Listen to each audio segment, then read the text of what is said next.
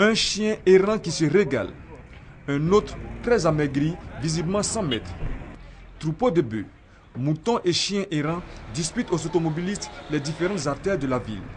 Ici, un bouvier à la tête d'un troupeau occupe la voie. La priorité est respectée. Automobilistes et motocyclistes contraints à une halte. Nous sommes à Gagnoua. Depuis quelque temps, la région du Go est confrontée au phénomène des animaux errants. Il arrive bien souvent que la voie est carrément euh, bloquée par ces animaux, que ce soit les bœufs comme les moutons. Et cela vraiment nous crée d'énormes désagréments. On ne peut même pas traverser. À chaque fois, quand tu rentres dans un quartier, tu es obligé d'éteindre la voiture, tu attends à ce que les bœufs passent et puis tu traverses.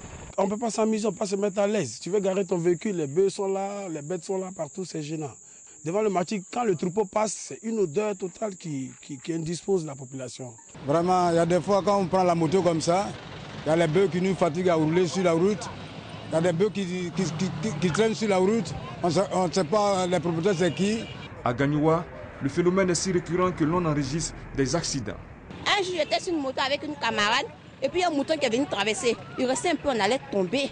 Mais elle a su dribbler le mouton et puis on, a, on est passé. À la descente là, et moi, il y a un bœuf qui a cassé mon carreau. Tout le temps, il y a des dégâts en voulant dévier des chiens ou d'autres choses euh, font des dégâts. Le maire de la commune de Gagnoua entend lutter contre le phénomène. Nous sommes dans la phase de sensibilisation. Les propriétaires des chiens, qu'ils arrivent à vacciner leurs chiens et les, les laisser à la maison.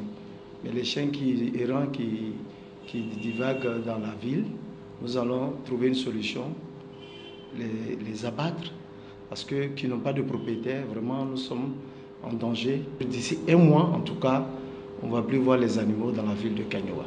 Les animaux errants, un réel danger pour la vie et la sécurité des populations. De nombreuses localités de l'intérieur du pays sont confrontées au phénomène.